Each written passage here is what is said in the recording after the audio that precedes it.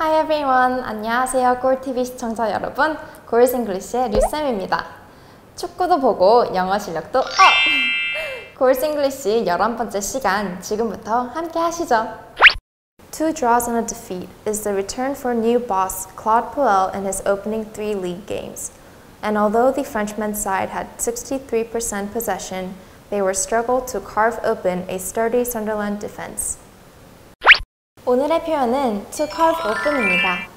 공격수가 수비수를 쉽게 뚫고 들어가는 상황을 가리키는 표현인데요.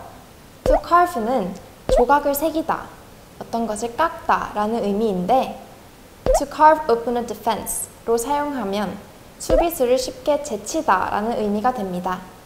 기사 함께 확인하시죠. Two draws and a defeat is the return for new boss Claude Puel in his opening three league games. and although the Frenchman's side had 63% possession, they were struggled to carve open a sturdy Sunderland defense.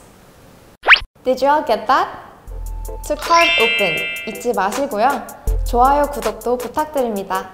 골스 잉글리시의 류쌤이었습니다. 다음 시간에 만나요. 안녕!